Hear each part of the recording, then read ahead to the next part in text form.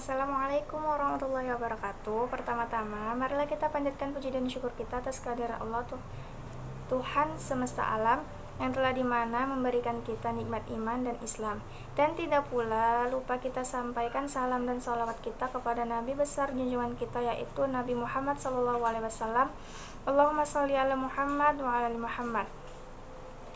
Tausiah kali saya ini adalah yang berjudulkan tentang pentingnya menutup aurat bagi kaum muslimin. Nah, teman-temanku sekalian, pakaian kita ini adalah pakaian yang syar'i, bukan rok mini.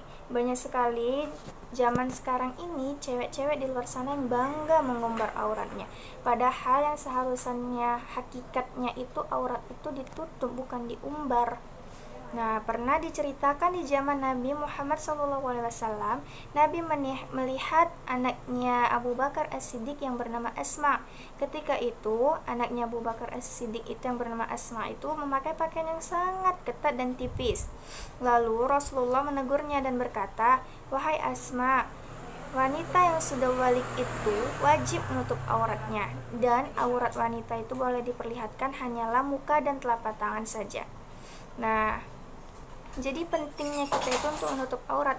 Allah juga menjanjikan untuk kita kalau misalnya kita itu menutup aurat itu Allah akan menjaga kita. Jadi ukti-ukti sekalian itu uh, kita itu harus menutup aurat. Nah perlu diketahui aurat itu seluruh tubuh kecuali telapak tangan dan muka. Dan banyak juga orang di luar sana yang menganggap kalau misalnya kaki itu bukan aurat dan banyak juga yang menganggap aurat itu hanya rambut. Jadi banyak yang hanya menutupkan rambutnya saja tapi misalnya lehernya kelihatan gitu. Itu tidak boleh.